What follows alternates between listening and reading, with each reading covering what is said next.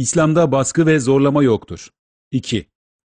Kur'an'a göre bir insana İslam zorla yaşatılamaz. Kovulmuş şeytandan Rabbime sığınırım. Artık sen öğüt verip hatırlat. Sen yalnızca bir öğüt verici, bir hatırlatıcısın. Onlara zor ve baskı kullanacak değilsin. İslam'a göre dinden çıkan mürtet yani mürtet öldürülür. Ee, zina eden rejim edilir ve bir de dinden dönen de idam edilir. Hüküm budur. Bütün mezheplerde de hüküm budur. Bu hususta mezhepler arasında bir tartışma yok. Kur'an'da dinden çıkanın öldürülmesi yoktur. Zina yapanın idam edilmesi ya da recm ile taşlanarak öldürülmesi yoktur. Kur'an'a uyan Müslüman bir insanı doğruya sadece davet eder. Allah dilediğine hidayet verir. Kovulmuş şeytandan Rabbime sığınırım. Onların hidayete ermesi senin üzerinde bir yükümlülük değildir. Ancak Allah dilediğini hidayete erdirir. Bu daveti de güzel sözle yapmakla yükümlüdür. Kovulmuş şeytandan Rabbime sığınırım. Rabbinin yoluna hikmetle ve güzel öğütle çağır ve onlarla en güzel bir biçimde mücadele et. Allah katında değerli olan samimi imandır. Hurafelere dayalı anlayışsa münafıklığın yayılmasına sebep olur. Çünkü bir insanın ölüm korkusuyla inanmadığı halde dini yaşamaya mecbur bırakılması o insanı mümin değil, Allah korusun münafık yapar. Gönül rızasıyla girmiş olduğu İslam dininden tekrar çıksa, küfre dönse, kafir olsa irtidat suçunu işlemiş olur. Bu suçu işleyen insana mürted denir. Bu suçun cezası da ölümdür.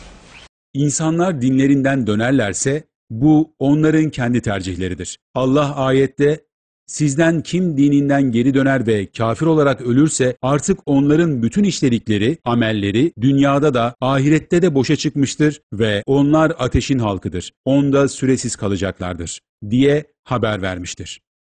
Yani dinden dönenler bu dünyada kendi tercihlerini yaşarlar. Daha önce yaptıkları boşa gitmiş olur ve hesaplarını ahirette Allah'a verirler. Kur'an'a göre bu insanlara dünyada herhangi bir ceza veya yaptırım uygulanamaz. Bir kimse eğer dinden döner, İslam'ı reddederse hemen üç kere tövbeye çağrılır. Ancak tövbe etmezse öldürülür, onun cenazesi yıkanılmaz, üzerinde namaz kılınmaz, cenazesi de Müslümanların mezarlarına defnedilmez. Hiç kimsenin bir başka insana inanmadığı veya inancını kaybettiği için cezalandırma hakkı yoktur. Onlar mümin oluncaya kadar insanları sen mi zorlayacaksın ayetinden de anlaşıldığı gibi insanları iman etmeleri için zorlamak Kur'an'a uygun değildir. Bir insanı inanmadığı halde inanıyormuş gibi yaşamaya zorlamak onu münafıklığa yöneltmektir ve büyük bir zulümdür. Namazı inkar etmeyenin haddi Ebu Hanife'nin mezhebinde ölünceye kadar hapsedilmektir. Yani yavaş yavaş öldürmedir. İmam Malik'in mezhebinde, İmam Ahmed bin Hanbel'in mezhebinde, İmam Şafii'nin görüşlerine göre üç gün kendisine mühlet verilir. Üç gün sonra katledilir.